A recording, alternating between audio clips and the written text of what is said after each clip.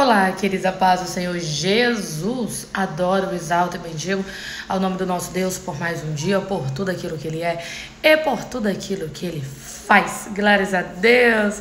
estou feliz com o Senhor porque até aqui Ele tem nos ajudado, tem sido conosco. Até aqui temos contado com as muitas misericórdias do Papai para com a nossa vida e o nosso coração. Muito, mas muito, muito, muito está feliz. Por isso, entrando aqui para trazer uma palavra da parte de Deus para mim para tua vida, quero ser breve, bem rapidinho, mas quero trazer algo dos céus para o nosso coração neste exato momento. E enquanto você está chegando, deixa eu dar aquele recadinho abençoado para você. Dia 13 de setembro de 2019, nosso encontro acontece em Cuiabá, Mato Grosso, tá certo? Você é o nosso convidado, entrada gratuita. Dia 27 e dia 28 de setembro de 2019, nosso encontro acontece em Londres, na Inglaterra, tá certo? Na The Father's House Church. Você é o nosso convidado a ir adorar a Jesus juntamente conosco. E dia 29 de setembro estarei ministrando a palavra de Deus em Paris, na França. Beijo para todos que nos acompanham ali de Paris. Eu sei que já tem um grupo lindo nos aguardando, feliz com o que Deus vai fazer naquele lugar. E eu já quero, ó, Mandar um beijão para você que nos acompanha ali de Paris também, de toda a França, de toda a Inglaterra, para você que nos acompanha de fora do Brasil, para você que tá aí, ó, fora do Brasil nos acompanhando. E então deixa eu aproveitar e já falar aqui uma coisa para vocês, para você que nos acompanha de fora do Brasil e tem perguntado quando que a gente vai abrir agenda para 2020, qual mês que a gente vai abrir agenda para Europa. Olha só, é, estaremos, estaremos no mês de setembro, a partir do dia 15 de setembro. Nós estamos com agenda aberta, tá certo? Para fora do Brasil. Você tem interesse? Você está acompanhando de fora e estava esperando esse momento? Tem interesse? Então dá uma ligadinha lá na assessoria pessoal, tá bom? Fala com o irmão Elialdo Alves e conversa com ele e vai dar tudo certo em nome de Jesus e nós vamos glorificar a Deus no seu culto de ação de graça, na sua igreja, na sua casa. Vamos fazer uma festa linda para Jesus. Então liga lá, tá certo? E fala do teu dia, fala do desejo do teu coração de nós estarmos aí com você e vamos dar glórias a Deus juntos. Queridos, como é bom, né? Saber que tem um Deus que cuida de nós. Como é bom saber que tem um Deus que pega na nossa mão quando a gente já não tem mais força e nos põe de pé. Que tem um Deus que nos dá direcionamento quando nós não sabemos mais para onde ir, por onde seguir, o que fazer. Ele vem e nos aponta o caminho certo, aquietando o nosso coração e mostrando que é conosco na caminhada. Isso não é maravilhoso? Saber que ainda que todos nos virem as costas, ainda que nos apedrejem, ainda que nos julguem, nos condenem, ainda que façam o que quiserem, todavia há um Deus que nos justifica, há um Deus que nos defende, há um Deus que nos protege, há um Deus que fala por nós e é tão lindo quando a resposta de Deus chega. Eu quero profetizar sobre pessoas que estão tá aí do outro lado. Olha aqui. Deus está falando assim para você nesse exato momento. Descansa porque sou eu que respondo por ti. Descansa. Tem gente que às vezes quer se justificar, às vezes olha aqui, quer mostrar uma coisa, quer mostrar outra. Papai está falando para você, apenas descansa. Apenas descansa, porque eu estou fazendo por você aquilo que nem mesmo você poderia fazer. Você está entendendo? Então descansa o teu coração na presença de Deus, porque Ele cuida sim da tua vida, da tua história e da tua caminhada. Queridos, a palavra do Senhor vai nos falar a respeito de um determinado dia em que Davi vai para o campo de batalha. E sabe o que é que eu acho lindo? Ele teve que escolher em qual guerra ele iria entrar.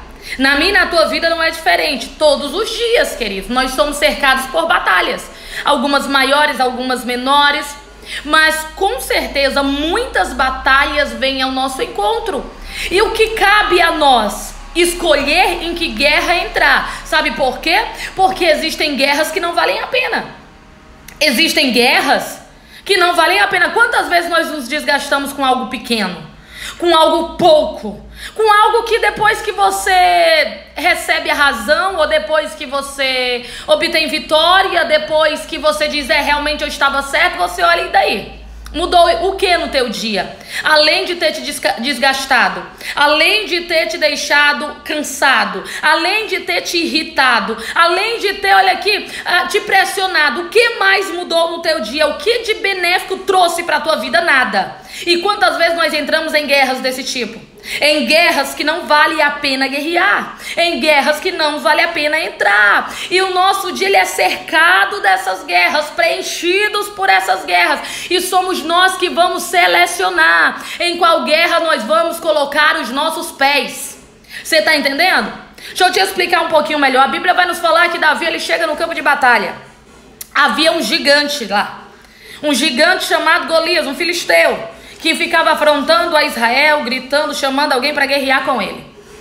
A palavra do Senhor vai nos dizer que quando Davi ele adentra nesse cenário, logo as pequenas guerras vão se formar. Primeiro, seus irmãos irão olhar para ele e chamarão ele de presunçoso. Dirão para ele: Nós conhecemos a presunção do teu coração. Nós sabemos que você deixou aquelas ovelhas lá no deserto, aquelas poucas ovelhas no deserto, para vir aqui para vir se, se, se apresentar, para vir aqui se mostrar. Você está entendendo? Eles vão começar a afrontar a Davi. Queridos, eu estou falando dos irmãos de Davi. Eu não estou falando de pessoas desconhecidas de Davi, eu estou falando do, dos irmãos. Pois é, às vezes, queridos, olha que a guerra ela vai estar bem próxima, mas ela não vale a pena ser guerreada. Agora imagina só, se Davi tivesse parado para responder os seus irmãos e começasse um bate-boca ali no meio do campo. Davi ia ficar cansado antes de sair com vitória. Imagina só se Davi começasse a brigar com eles e falar: Quem disse que eu sou presunçoso? Como que você prova que o meu coração tem presunção? Você me conhece por dentro, por, por acaso? Você sabe o que eu estou pensando? Imagina se Davi começasse um bate-boca, ele se desgastaria. Traria uma cena para dentro daquele cenário, queridos, desnecessária. Chamaria a atenção de uma maneira errada. E olha aqui, e o inimigo conseguiria o seu objetivo, que era fazer Davi perder o foco. Mas quando Davi escuta os seus irmãos formando guerra contra ele, ele decide: eu não entro nessa guerra. Deixa eu falar uma coisa. A guerra só é guerreada quando você entra nela. Ah, não, mas é porque fulano falou de mim, eu vou lá, vou lá tirar satisfação. Não, mas é porque Beltrano tá falando no meu nome, eu vou lá, eu vou, eu vou lá, eu vou falar. Sim, você vai lá, você vai bater boca, você vai se desgastar, a pessoa vai dizer que falou ou vai omitir, vai dizer que não, vai acabar mentindo para você. E aí, qual, qual, é o benefício, qual é o benefício que você vai usufruir dessa situação? Além de se desgastar, além de se estressar, além de cansar. Aí quando você olha para uma situação dessa, você diz: "Fulano falou de mim, foi. Tudo bem, meu advogado tá aí. Quem é o teu advogado? Jesus. Não, fulano está dizendo que, que, que, que, eu fiz isso, fiz aquilo. Tem problema não, meu juiz julga a causa. Quem é o teu juiz? Meu juiz é Deus. Você está entendendo? Aí você não se desgasta com coisas que não vai, que não vai lhe trazer nada além de cansaço, além de irritabilidade, além de pressões. Você não vai se desgastar dentro dessas guerras porque elas não te trazem nada. Elas não te trazem nada além disso. Olha aqui, se Davi tivesse se disposto a entrar naquela pequena batalha contra os seus irmãos, ele teria perdido o foco, queridos. Ele teria, ele teria, talvez até tivesse vencido, sabe? Mas o que, que ele ganharia com aquela vitória? Queridos, a gente tem que analisar que tipo de guerra eu vou entrar. Vale a pena? Fulano falou de você, não vale a pena entrar nessa guerra não, deixa ele falar sozinho. A guerra só é guerreada se eu botar o pé dentro dela. Então deixa ele falar sozinho, porque quem vai me justificar é Deus. A minha vida, a minha vida é a maior resposta para quem está falando mal de mim. Sabe por quê? Porque é na minha vida que vai ter os frutos, é na minha vida que vai ter a vitória, é na minha vida que vai ter as concretizações, as realizações, as conquistas. Então, deixa quem quiser falar de mim, a minha vida é a melhor resposta. O meu Deus é o meu justificador. Você está entendendo? Você está entendendo o que o papai está falando para você? Observe, havia um campo de batalha e a primeira pequena batalha que se levanta contra Davi são, é formada pelos seus irmãos, mas ele decide não guerrear contra eles. Segundo, quando ele diz: Eu vou contra o gigante, a Bíblia vai nos falar que Saul se levanta e diz assim: Não, você não, você não tem capacidade, você é pequeno, você é inexperiente, esse daí ó, é grande demais tem experiência de batalha, você não vai conseguir. Ou seja, outra pequena batalha se formando dentro do campo. Imagina só se Davi, ao olhar para aquilo, entrasse numa guerra. Para tentar se justificar de uma maneira intensa, para tentar convencer todo mundo. Olha aqui, imagina só o desgaste emocional e até físico que Davi sofreria antes de enfrentar o que verdadeiramente deveria ser enfrentado. Você está entendendo? Aqui a palavra do Senhor vai dizer que Saul olhou para ele e disse que ele não era capaz. Ele só olhou de volta e disse: Já matei leão e urso. Já venci, já venci no deserto. Então eu tenho bagagem para isso e eu sei, eu não preciso da aprovação de ninguém. Você está entendendo? Você está entendendo que papai está falando aqui para você? Sempre vai ter gente se levantando para formar guerra contra você, mas cabe a você entrar nela ou não. Cabe você selecionar quais guerras merecem ser guerreadas. Cabe a você entender onde você vai depositar a tua força. Onde você, olha aqui, vai vai vai depositar o teu ânimo. Porque se você entrar numa guerra errada, minha filha, você pode até vencer, mas não vai trazer nada de benéfico de lá. Você pode até vencer, mas você não vai trazer nenhum troféu de lá. Você vai trazer somente cansaço, desgaste, pressões, irritabilidade. Você está entendendo? E nós temos que agir com sabedoria e perceber onde que nós vamos entrar, qual guerra nós vamos abraçar. Que tipo de que tipo de situação nós vamos colocar os nossos pés? Porque existem guerras que são inevitáveis. Elas vêm, ó, e a gente de repente tá dentro dela e tem que guerrear e acabou. Mas existem guerras que são opcionais. Davi poderia ter guerreado contra os seus irmãos, mas ele não guerreou. Davi poderia ter guerreado contra Saul, mas ele não guerreou. Davi, olha aqui, escolheu guerrear contra o gigante, porque ali ele teria vitória verdadeiramente. Ali ele traria os seus troféus verdadeiramente. Ali ele teria benefício verdadeiramente. Papai está dizendo: tem muita guerra se levantando. Decida em qual você vai entrar, qual que verdadeiramente lhe traz vantagem, qual que verdadeiramente lhe traz vitória. Você está entendendo que papai está falando para você? Não entre em qualquer guerra, não. Não se deixe, não se deixe atingir por qualquer coisa, não. Não se deixe levar por qualquer pessoa, não. Decida qual guerra você quer guerrear. Está entendendo que papai está falando para você? Está entendendo o que Deus está dizendo para ti? A Bíblia vai dizer que Davi focou no gigante. Tinha irmão, tinha saúde, tinha um montão de coisa lá. Que ele poderia ter se, ó, perdido o foco. Poderia ter se desgastado. Mas ele olhou, foi para o gigante. E sabe o que foi que aconteceu? O gigante caiu. Porque onde você deposita a tua expectativa, onde você foca, onde você se concentra, onde você deposita as suas energias, a tua força, a tua fé, onde, olha aqui, aquele lugar é o lugar onde você vai obter vitória. É. É daquele lugar ali mesmo. Você já percebeu quando você está fazendo uma coisa e você está fazendo muito desatento, aí acontece o risco de você fazer o que não era para fazer? É, você está desatento, você está fazendo aqui, de repente está conversando, aí tu, ah, não era nem para ter feito isso, aí você vai lá e desfaz. Por quê? Porque o teu foco não estava lá, estava na conversa. Você está entendendo? Pois é, onde você deposita o teu foco, a intenção do teu coração prospera. Pegou o mistério? Pegou aí o princípio? Onde você deposita o teu foco, onde você tem foco, onde você olha, onde você se esforça, é lá que você colhe vitória. Não é, não é onde você está desapercebido, não, viu? Não é onde as coisas passam e acontecem e você nem percebe, não. É onde está o teu foco. E o teu foco não tem que estar nos irmãos que falam mal de você. E o teu foco não tem que estar em saúde, nas lideranças. Olha aqui que desacreditam de ti, nas pessoas de autoridade que não que não te veem como um guerreiro, uma guerreira do Senhor. Não. O teu foco, olha aqui, tem que estar no que verdadeiramente você quer vencer. É. Davi olhou e disse assim: Eu não quero vencer meus irmãos, porque se eu vencer eles, a casa dividida não subsiste. Não quero vencer Davi, eu não quero vencer Saul, ele é a liderança da, dessa geração. A opinião dele, tudo bem, a opinião dele é a opinião dele. Eu sei qual, eu sei quem eu sou. Eu não preciso provar nada para ele. Mas não quero também guerrear com ele. Ele é a liderança que Deus colocou aí, então que assim seja.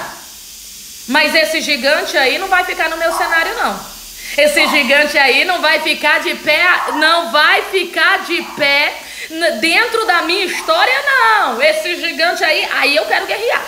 Aí eu quero focar. É nele aí, ó, que eu quero ter vitória. Não quero ter vitória sobre meus irmãos, não quero ter vitória sobre as lideranças, não quero ter vitória contra é, é sobre quem faz parte do meu exército, não quero ter vitória sobre a minha tropa. Não, eu não quero ter. Tem batalhas ali? Tem. O convívio vai trazer batalhas. O convívio vai trazer guerras, queridos, é inevitável. Mas eu não quero ter vitória diante desse, desse tipo de situação. Eu quero ter vitória mesmo é diante do inimigo. É diante do adversário que eu quero ter vitória. Você está entendendo o que papai está falando aqui para você? Deus está dizendo assim para ti: ei, decida onde você quer ter vitória. Decida em qual tipo de guerra você quer entrar. Foca, foca naquilo que você quer derrubar. Você quer derrubar os teus irmãos? Tenho certeza que não. Porque se esse desejo estiver no teu coração, você não está na essência cristã. Você quer derrubar os seus irmãos? Não, você não quer. Eles podem fazer o mal que te fizerem. Eles podem, mas você não deseja o mal para eles. Eu tenho certeza disso. E tem gente que tem batalhas internas no meio da família aqui que se você fosse falar, a gente ficava de boca aberta. Com pessoas que se você viesse nos dizer, a gente ficava até sem entender. Meu Deus, como que pode? Como que pode uma guerra dessa entre, entre esse tipo de pessoa? Não é desse jeito? Mas você não quer derrubar eles. Então você vai focar neles para quê?